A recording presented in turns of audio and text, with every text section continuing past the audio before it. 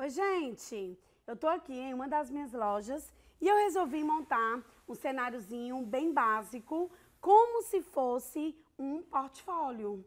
Se vocês observarem, eu tenho aqui apenas alguns cilindros, é, umas pelúcias que chamem muita atenção, balões muito bonitos, mas o que eu quero ensinar para vocês é uma dica super rápida, super simples, para você dar uma estilizada ou naquela peça ou em um bolo que não esteja de acordo com o que você deseja colocar na sua decoração.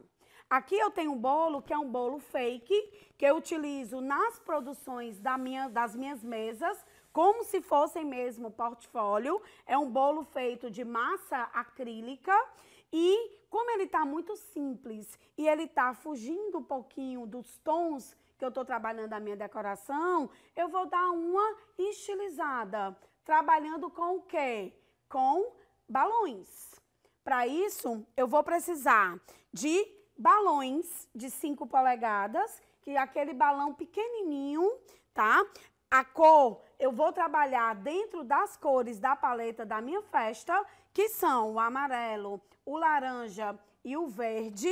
Vou precisar de uma bombinha. Eu amo essa bombinha da Qualatex, porque ela é uma bombinha de precisão e que dependendo da quantidade é, de bombadas que eu dou, o balão fica sempre do mesmo tamanho. E também eu vou precisar de balão bonde, que é uma colinha para balão, tá? Então é importante você ter sempre esse material, porque você pode botar balãozinho caindo da peça, balão caindo da mesa, balão até caindo aqui de alguma mobília e sempre fica muito bacana.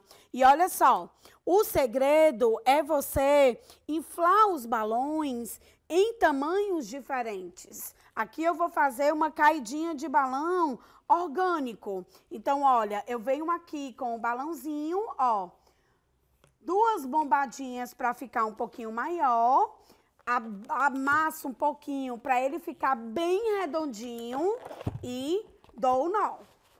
Depois eu vou vir com o meu balão verdinho, também vou aqui, ó, dar, não vou dar duas inteiras, vou dar uma e meia para ele ficar de um tamanho diferente do laranja. E assim eu vou inflando. Não existe uma regra, o importante é você ter os balões dos tamanhos diferentes e aí eu vou colando um balão no outro até chegar, olha, aqui eu já deixei um já semi-prontinho para vocês, tá? Então, vou colando com esse balão bonde, que é essa colinha para balão. Venho aqui, olha, Coloco aqui a minha cascatinha desconstruída.